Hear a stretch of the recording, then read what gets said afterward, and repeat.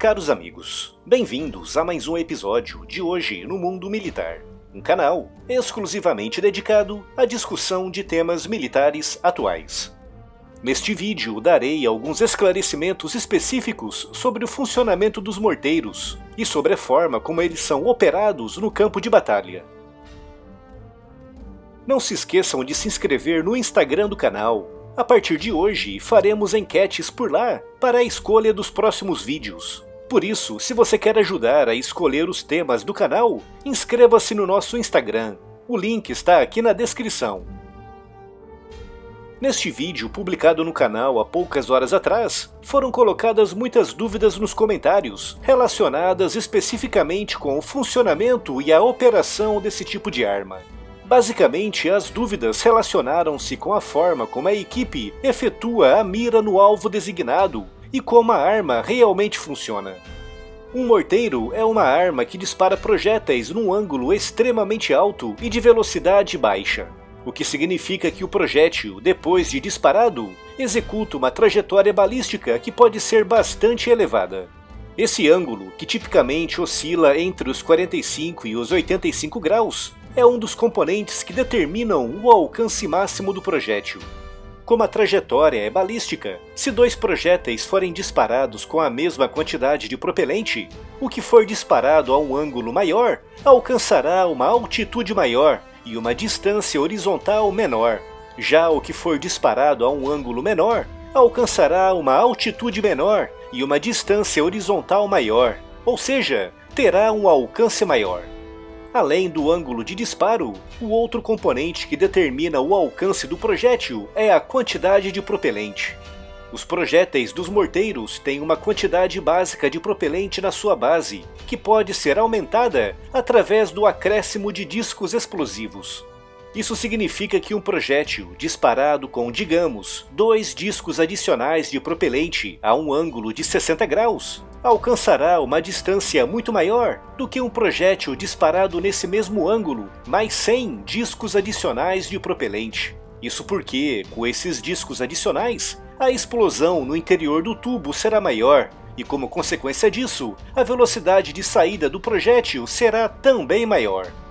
O processo de disparo é muito simples e funciona com base na gravidade, com o soldado simplesmente soltando o projétil na boca do tubo.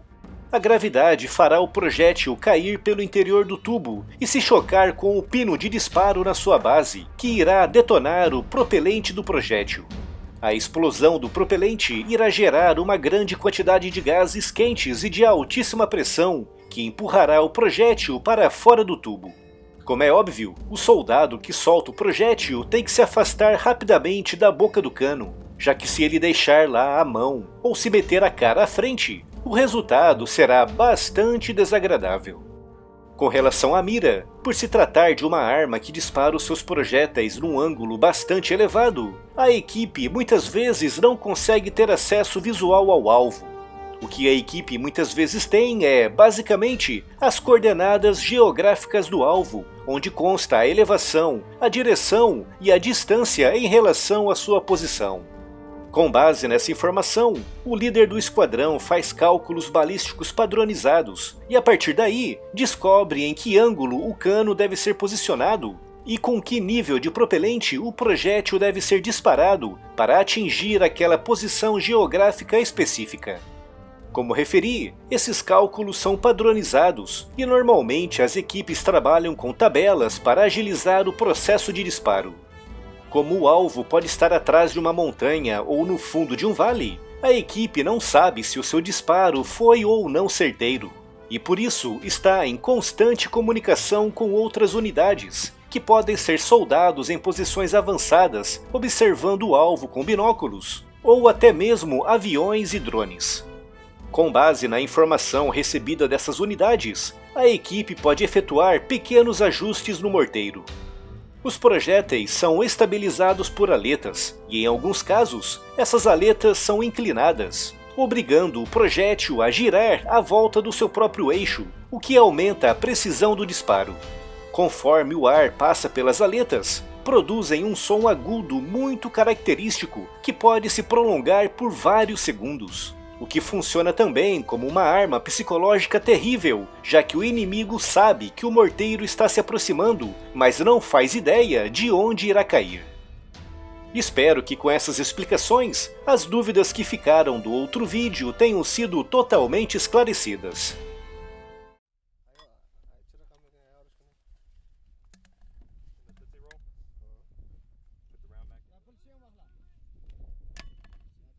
څنګه کومه چې دا باید دی ختم سي اه دی خوا شي دی خوا څنګه قومندان صاحب You were already on one. You want to sip or sip or do this?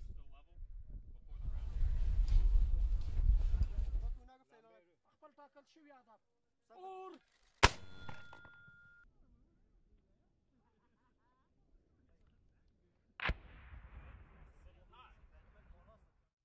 Yes, that's the distance. What is? Tell me the elevation that we're. put- The line. Remember the line. This is the distance.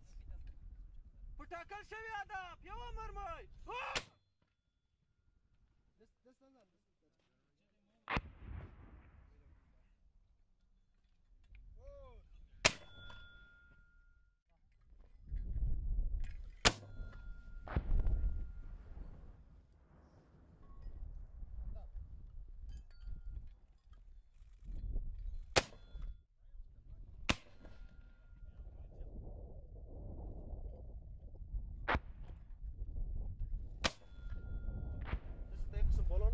heads up here like this, you could have caught a flame.